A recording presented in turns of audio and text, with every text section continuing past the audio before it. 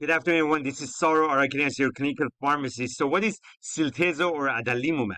Cyltezo is from uh, Boehringer Ingelheim Pharmaceuticals, FDA approved in uh, July 1st, 2023. Uh, Cyltezo is a tumor necrosis factor or TNF blocker indicated for the treatment of rheumatoid arthritis, juvenile uh, idiopathic arthritis, uh, psoriatic arthritis, ankylosing spondylitis, uh, Crohn's disease, ulcerative colitis, and plaque psoriasis.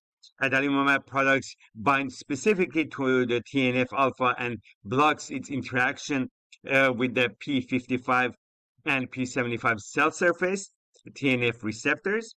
It comes in an injection format of 40 milligram per 0.8 ml in a single uh, use pre-filled glass syringe.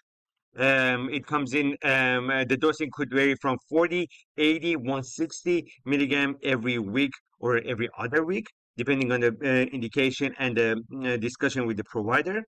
Some of the common side effects seen from Cyltezo include mm, headache, rash, injection site reactions. Again, this is a summary information about Cyltezo or adalimumab.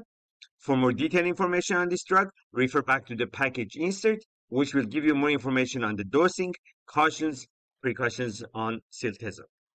Hope you enjoyed this video. As always, stay safe and take your medications.